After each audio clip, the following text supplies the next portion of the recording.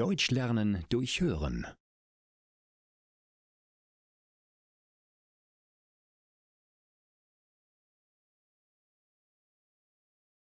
Das A und O.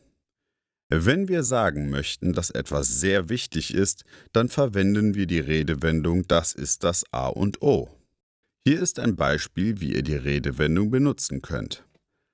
Hanna hat eine Oma. Sie heißt Hildegard und ist momentan 95 Jahre alt. Trotzdem ist sie noch sehr fit.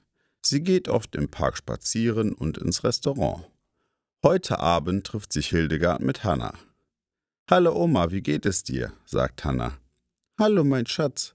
Mir geht es sehr gut, antwortet sie. Ich verstehe das nicht. Du bist jetzt schon 95 Jahre alt, aber trotzdem bist du noch so fit. Andere Menschen sitzen in diesem Alter nur noch zu Hause. Wie machst du das? Hildegard lacht.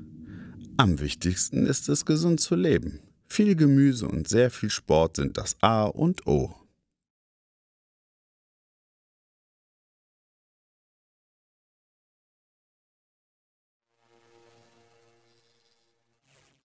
Deutsch lernen durch Hören.